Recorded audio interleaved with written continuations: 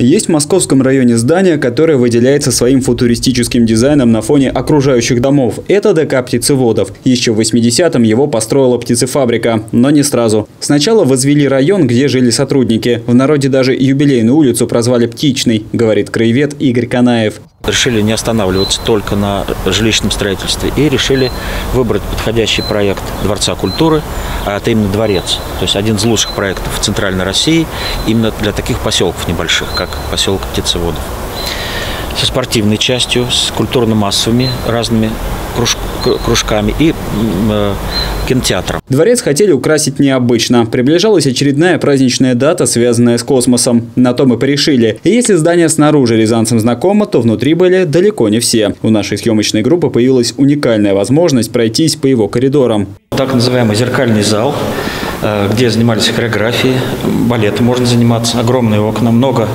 э, воздуха, света. Аппараты, снаряды, как они называют, для занятий. Очень удобный зал. А, с красивыми шторами вообще будет красота. То есть если учесть, что у нас получается целых пять школ и несколько э, садиков, то вообще идеально для деток всего нашего московского. По этому помещению никто не ходил, кажется, уже много лет, за исключением местного сторожа. В кабинете директора даже остались календари за 2013 год, год разорения птицефабрики. С того момента бильярдные столы и пианино покрылись пылью, а в спортивном зале не играли в мяч. И о том, чтобы здание открылось вновь, уже давно просили местные жители на Московском, кроме Дворца культуры, э, сельхозакадемии имени Косачева, который ведомственно является дворцом, да, пойти больше некуда. Разве что библиотеки детские и вот этот дворец.